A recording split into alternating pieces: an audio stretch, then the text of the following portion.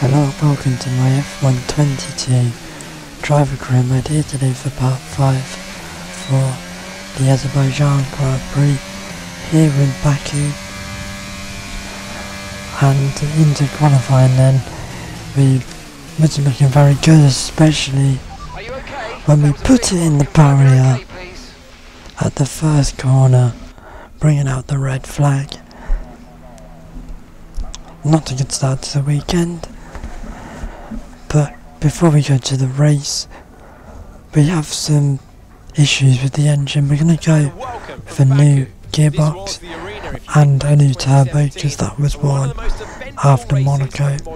But let's get into the race. Second overtakes and a historic podium for Williams and Lance Stroll.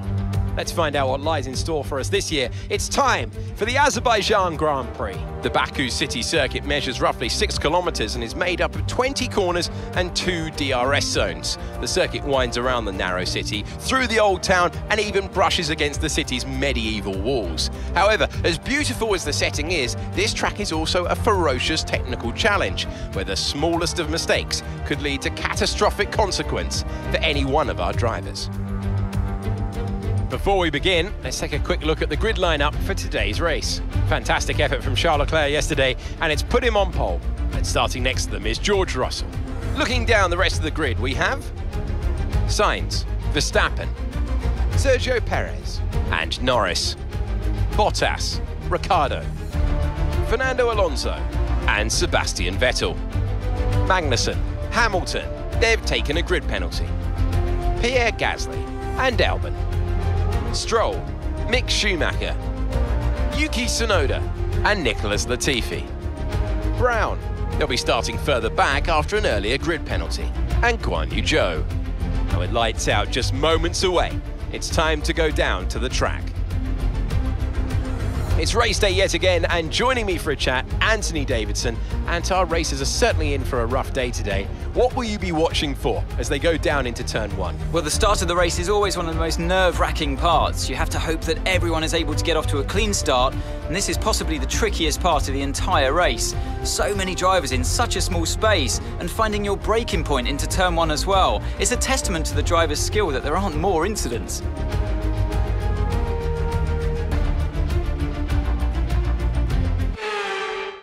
So we get into the. I thought this tries to be different. We're at the back. We might as well start on the hards, try and play the long game. If we have good pace, then chances may come later on. But as the fire lights went out, we are underway and we, in the background, didn't really know where to go. Thought about the inside, but nothing there. Oh, there's Yu Zhou and Nicholas Latifi just to the road losing out to uh, Vanessa Alpha Tauri as we send it down the inside of Guan Yu into turn 2. He gets the exit. Even though I've done the formation lap, these tyres are still very, very cold. As you can see as they're weaving on the straight, trying to get some tyre temperature as Zhou and Latifi are side by side through the first sector. We're just here lingering, a bit like a bad smell, just trying to find a chance to get past them.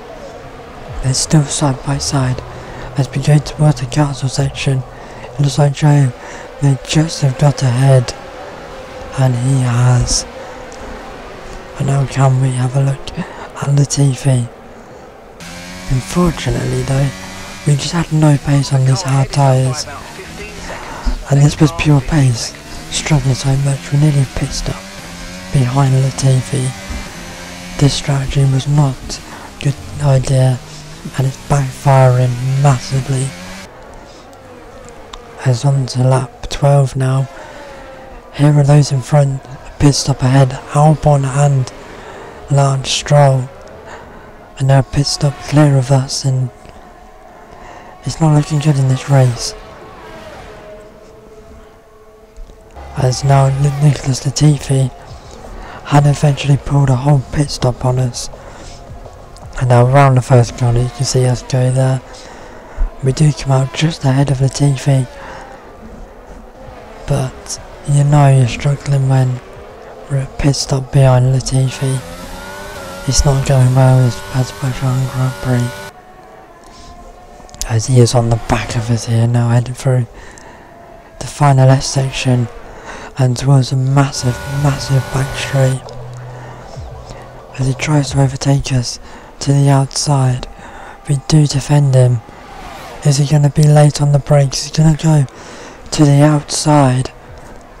And we're going to force him the long, long way around. Squeeze him out and he stays ahead as we now pit on lap 15. We head down the pits now. Completely mistimed it again, unfortunately. Now onto the medium tyres and That stop wasn't great, we've lost some time there. out to the pits and now let's just hope Our last stop. that we have some pace or hope for a safety car or something. Looks like we might have an issue. Hang in there, we're attempting to manage it. No, we have an issue. And I was thinking that about retiring the car. But I was clinging on to hope that there was a safety car. But it doesn't look to be coming. Okay, we have a severe engine issue. Find a safe space to retire or return to the pits. And we're out of the Azerbaijan Grand Prix. It must have been the most boring Grand Prix I've ever done. Done 19 laps on my own. And we're out of the Grand Prix. Our first mechanical failure of the career mode. Here's our winner, pulling their Ferrari into Parc Ferme then. What a fantastic race.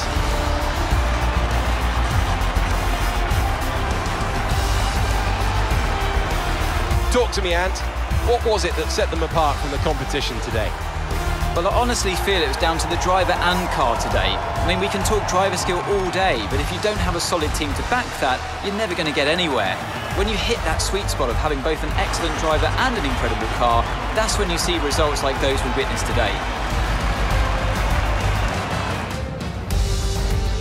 Looking at the podium, you can see that red suit, familiar to fans across the globe. A world-class win for a world-class team. Ferrari, do it again.